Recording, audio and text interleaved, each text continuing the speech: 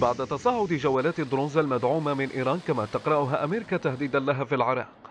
بدأت الخطوات العسكرية تتصاعد هي الأخرى بتجهيزات وردود فعل على الاستفزاز الإيراني ما جعل الحديث أكثر انتشارا حول نية الولايات المتحدة الأمريكية باستدعاء منظومة أفينجر أو المنتقم إلى العراق للتعامل مع الطائرة المسيرة والصواريخ.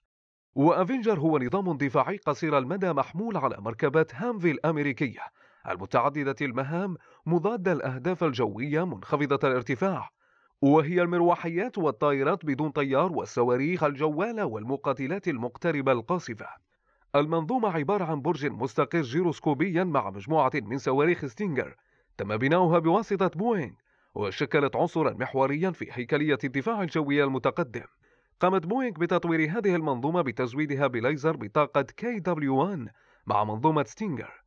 وقد حققت أول منظومة أفينجر المعدل نجاحا باهرا في العام 2007 في اختبارات برنامج الدفاع ضد الصواريخ بإزالة حاوية الصواريخ المربعة من القسم الأيمن واستبدالها بالرشاش M3P حيث تم بذلك توفير قدرة على إطلاق النيران في أي زاوية أو أي ارتفاع.